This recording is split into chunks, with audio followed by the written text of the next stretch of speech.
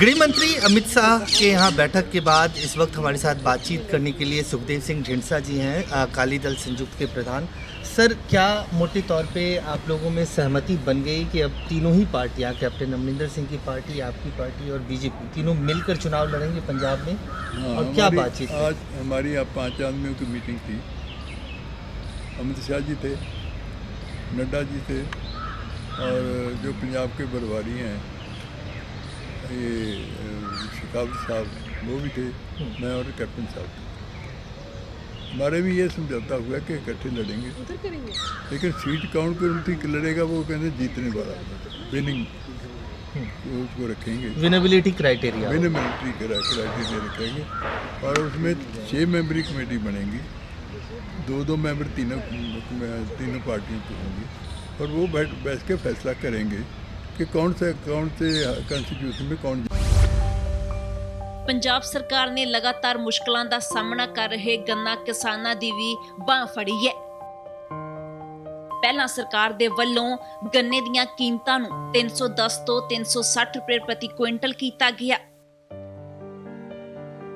ਤੇ ਵਧਾਈਆਂ ਗਈਆਂ ਕੀਮਤਾਂ ਦੇ ਬਾਅਦ ਜਦੋਂ ਪ੍ਰਾਈਵੇਟ ਮਿਲਾਂ ਨੇ ਇਹ ਵਾਅਦਾ ਦੇਣ ਤੋਂ ਹੱਥ ਖੜੇ ਕਰ ਦਿੱਤੇ ਤਾਂ ਐਸਏਪੀ ਤੇ ਵਧਾਏ ਗਏ 50 ਰੁਪਏ ਵਿੱਚੋਂ 35 ਰੁਪਏ ਸਰਕਾਰ ਨੇ ਖੁਦ ਦੇਣ ਦੀ ਪ੍ਰਵਾਨਗੀ ਦਿੱਤੀ ਹੈ। ਇੱਥੇ ਨਹੀਂ, ਇਹ ਰਕਮ ਸਿੱਧੀ ਕਿਸਾਨਾਂ ਦੇ ਖਾਤਿਆਂ ਦੇ ਵਿੱਚ ਅਦਾ ਕੀਤੀ ਜਾ ਰਹੀ ਹੈ। ਗੰਨਾ ਕਾਸ਼ਤਕਾਰ। ਸਰਕਾਰ ਨੇ 50 ਰੁਪਏ ਰੇਟ ਵਧਾਇਆ ਸੀ। ਮਿੱਲ ਵਾਲੇ ਕਹਿੰਦੇ ਜੀ, ਅਸੀਂ ਇੰਨਾ ਪੈਸਾ ਨਹੀਂ ਦੇ ਸਕਦੇ। ਕਿਸਾਨ ਯੂਨੀਅਨ ਆਈਆਂ, ਮੇਰੇ ਪਾਸੇ ਜੀ, ਗੰਨੇ ਦੇ ਮਿੱਲ ਚਾਲੂ ਕਰੋ, ਹੋ ਨਹੀਂ ਰਹੇ।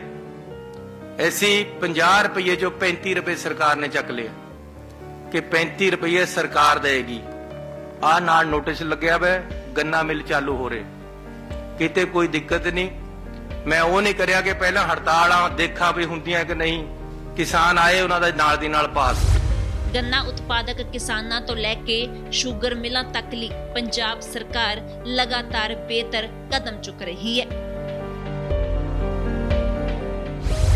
ਪੰਜਾਬ ਸਰਕਾਰ ਲੋਕਾਂ ਦੀ ਸਰਕਾਰ जीत सकता और जो उनको वो फैसला नहीं कर सकेंगे तो फिर हम तीनों बैठ जाएंगे ये भी तय हुआ है कि तीनों ही पार्टी का ज्वाइंट मैनिफेस्टो होगा हाँ मैनिफेस्टो पहले तो ये है कि तीनों बैठ के बनाएंगे क्योंकि बहुत मसले ऐसे हैं सिखों के मसले हैं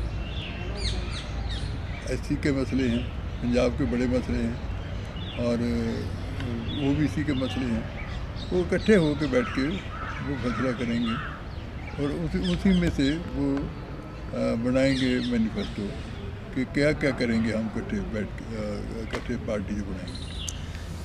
कैप्टन अमरिंदर सिंह कांग्रेस से अलग होकर उन्होंने अपनी पार्टी बनाई है। आपने भी अकाली दल से अलग होकर अपनी पार्टी बनाई है। आज के हालात में आपकी पार्टी क्या क्लेम करती है? कितनी सीटों पे आप लोग चुनाव लड़ना चाहते हैं? देखो लड़ाई तो हम तीस पैंतीस सीटों मांगेंगे। लेकिन जब कितनी जीत सकते हैं वो बैठ के हम सारे बैठ के फैसला करें मतलब आप लोग 30 से 35 सीटों पे पैंतीस चाहते पैंतीस सीटों पैंतीस पर और कैप्टन अमरिंदर सिंह कितनी सीटों पे लड़ना तो चाहते हैं? उन्होंने बताया नहीं होता कमेटी में बैठेंगे उस वक्त ही बताएँगे। अभी तो आज तो कोई हमने नहीं वहाँ पर हम हमने भी कुछ नहीं कहा। वो तो वैसे ही मैं कह रहा हूँ कि हमारी पार्टी की। दो दो जो नाम देने हैं वो कब तक देंगे और कल अगली बैठक? कल तक देंगे। और वो जल्दी मीटिंग एक दो दिन में ही कर देंगे। एक सवाल सर ढिंसा साहब की अभी अभी प्रधानमंत्री ने कृषि कानून वापस लिया है। पंजाब एक एग्रीकल्चर प्रधान स्टेट है। सबसे ज़्यादा लोग बॉर्डर पे दिल्ली की सीमाओं पे पंजाब और हरियाणा के ही बैठे थे। पंजाब में चुनाव होना है। ऐसे में एक बड़ा रिस्क फैक्टर नहीं लिया आपने बीजेपी के साथ जाने? नहीं नहीं मैंने जितनी हमने मदद की हमारी ड्यूटी थी सबसे पहले मैं चिट्ठी लिखी प्रधानमंत्री जी को कि ये ऑर्डिनेंस जब हुए थे कि ये ऑर्डिनेंस किसानों के खिलाफ हैं इसको वापस। उसके बाद जो किसानों ने कहा वैसे हमने हमने मैं पर मुझे अ, मिला हुआ था अवार्ड। हाँ जी? जी। तो वो भी वापस किया। जी जी। हाँ। पद्म भूषण हाँ वो भी हमने देखा कि आपने तो हमने किया जब जब वो वापस हो गए। हम्म, तो हमने देखा ना कि कौन सी पार्टी फिर हम, हमारे पंजाब के लिए सिखों के लिए किस कौन सी कर सकती है? तो हमें उसमें से वही दिख- दिखा कि बीजेपी ही कर सकती है और बीजेपी ने ही किया हुआ है। तो इसलिए हमने किसी के साथ तो होना ही था। और तो कोई पार्टी हमें नज़र न आई। अभी जो पंजाब में स्थिति है अब ये तीनों पार्टियाँ एक साथ आ गई हैं क्या आपको लगता है कि आम आदमी पार्टी कांग्रेस शिरोमणि अकाली दल और अब ये अलायंस क्या स्थिति रहेगी आने वाले चुनाव में? देखो स्थिति तो यही है। कि हमारी सरकार बन सकती है बनाएँगे कोशिश करेंगे और आपका चेहरा भी कोई होगा? ये चेहरा अभी मुख्यमंत्री का चेहरा नहीं कोई अभी आप लोग प्रोजेक्ट करेंगे? अभी अभी चेहरे पर डिस्कशन नहीं हुई। तो कौन से कितनी सीटें कौन जीतेगा उसके बाद ही होगा। आपको लगता है कि ये जो आंदोलन हुआ एक साल तक चला, इसका कोई असर दिखेगा या कृषि कानून वापस लेने के साथ अब ये खत्म हो गया और पंजाब की जनता एक बार फिर इस बीजेपी लेड अलायंस क्योंकि सबसे बड़ी पार्टी बीजेपी है, उस पर विश्वास करेगी? देखो, विश्वास तो ये तो वक्त ही बताएगा, लोगों पंजाब के लोग क्या चाहते हैं। लेकिन किसानों का जब चले, अभी किसानों की जथेबंदी, कोई, कई, कितनी जथेबंदी हैं, जो कहती हैं, हमने इलेक्शन नहीं लड़नी।